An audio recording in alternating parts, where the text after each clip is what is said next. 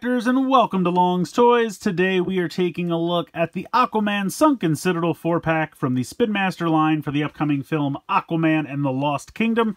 So this is part of the 4-inch line of DC figures that Spin Master has been doing for years now, and this set is a Target exclusive, as you can see right here, and it does boast that there is an exclusive figure included. Now, I'm not 100% sure which one it is, I'm kind of inclined to believe it's the Sharkman over here, but it could be this guy in the old-timey diver suit. We'll have to wait and see when they get some single figures released. I have not seen any single figures in store. This is the only thing I have found so far in store for this uh, line from Spin Master. But I'm kind of glad I found it first because if these guys are going to be released singly, I want to get the Shark Man. you know? He looks pretty cool. Uh, packaging, pretty simple here. I think you'd consider this plastic-free packaging, although the ties are very clearly plastic, so not really sure how that works, but there's no bubble for them to sit in. You know, they're just kind of tied onto this back piece of cardboard. You can reach in, touch the figures and everything. Uh, otherwise, just have a giant picture of Jason Momoa here.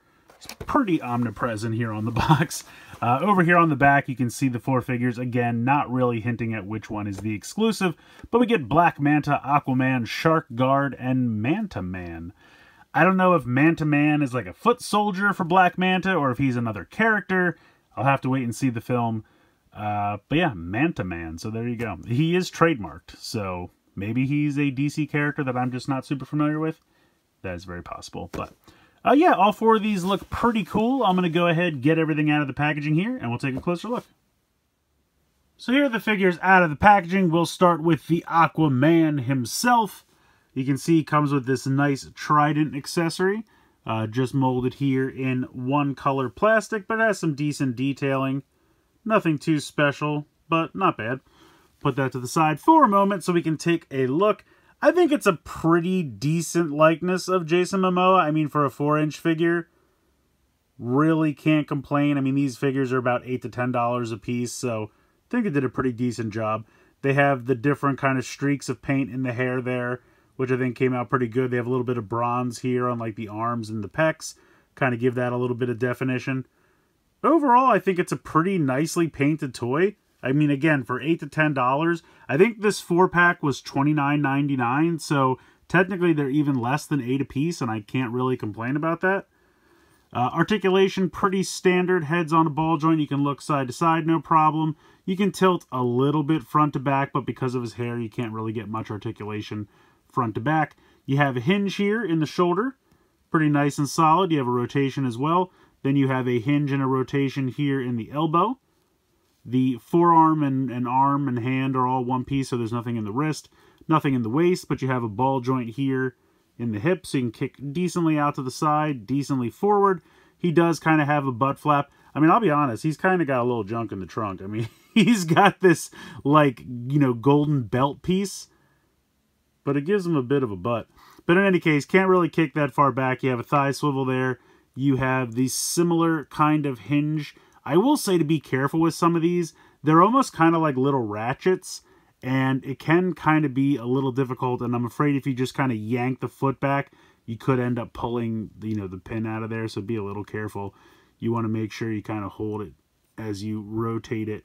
I usually try to push back as I rotate it but then you have a swivel there as well. So the elbow and the knees are basically the similar kind of joint. And then the boots are all one solid piece, so nothing in the ankles. But again, I mean, for a slightly less than $8 figure, I can't complain. I think the paint applications are good. I think the accessories cool. The face likeness is decent for an $8 figure. And all in all, it's just, it's a good 4-inch figure. I think they did a pretty great job with that there. Uh, next up, we will move on to Black Manta. He has a similar trident. It is not the exact same trident. It is molded differently, as you can see here. I don't know if it's the movie's about some kind of warring tridents or something. I'm not really sure, but it looks pretty cool. Again, molded out of one color plastic there, no paint. Black Manta himself looks pretty cool. Now, I didn't notice this till I got it home but unfortunately mine has a little bit of a paint mess up there in the eye, but it's really not too noticeable. It kind of just looks like sheen from the light, so it's not too bad. Now the head's kind of on a ball joint, and you can get a little bit of movement out of it, but because he's got these hoses going into the backpack, that is going to limit articulation for the head. It looks really cool, though, so I'm not really that upset about it. Plus, I don't really need him to be looking all around. He's got massive eyes. I feel like he can see well enough. Uh, same kind of articulation here. You have the hinge and the rotation in the shoulder. His elbows are very tiny, and so I would definitely be careful when trying to bend this because it's kind of similar to the knees on Aquaman but you have that same kind of swivel and elbow joint, but just be careful with it. Uh, he has ball joints in the hips, but he's kind of got these like massive pockets, I guess, for lack of a better term, that kind of get in the way. So he can't, you know, kick out to the side all that much. Kick out about that far. He can kick decently forward, uh, but again, he's got the butt flap, so he can't really kick back. Got the thigh swivel there, and then he has knees as well. And swivel, very similar to Aquaman. But yeah, overall, it's a pretty good-looking figure. I think the backpack looks good. Some nice paint there along the back. It's got these little jet thrusters. And then he's got this kind of like forearm piece. I don't know if that's a weapon or a communicator or what. But it looks pretty cool. Oh, Aquaman's trying to fight him. He's trying to leap into the fray. Settle down there, pal. I'll have to fix that. But yeah, Black Manta looks pretty good.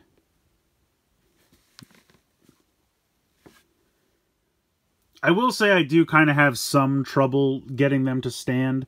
It's only because, like, the way, when their legs are just kind of extended normally, because the butt flap stops the legs about that far back, um, the feet the way they are, like, you'd kind of have to, like, bend them a little bit and then maybe rotate the knee one click but then they'd kind of look weird and squat, so I don't know. But I feel like if you just turn the feet, you can get them to stand pretty decently. There we go. Let me see if I just... And that's why it's nice to have those rotations there at the knee, because then you can kind of position the feet a little bit to help them stand a little better. That's not too bad. All right, next up, we'll move on to Manta Man, and I have no idea who this character is. But I'm guessing he's kind of like a Manta foot soldier, or maybe he's Black Manta's partner or something. I don't know. But I kind of like the look of the head there, like inside the diver helmet. I think that's really cool. It's pretty well detailed. Like, they didn't have to do that. They could have just had it be empty inside. But you can actually see the face, and I think that came out pretty great. The paint here, I think, is pretty nice. They kind of have like a rusted effect with the kind of green mixed with the yellow. I think that looks really sharp. He's got these hoses that go around to the back. He's got a similar kind of thing with Black Manta where you can't move the head around all that much because of those hoses, but you can move it a little bit. But I think they actually did a really nice job with the paint applications, especially on these like shoulder guards and the helmet and the chest. It's really cool. Then you have this little bit of thin line of green there. I would say his articulation is the same as all the others. And like I said, the head's a little restricted by those hoses. The shoulders are a little restricted by those shoulder pads. It can only get about 45 degrees. But then his elbows, hips, he's got thighs, swivels, uh, knee joints. They're all the same. So, yeah, he's a cool looking dude. I don't know what he's going to do in the movie or who he is in general, but he's got a nice range of motion in the hips. I will say he's probably got some of the best hip articulation out of the set because he can kick pretty far out to the side. He can kick pretty far forward. But yeah, he's a, he's a cool looking figure. I, I definitely don't know who this character is, but I like his sword accessory. Again, very basic, molded in one colored plastic, but it looks good.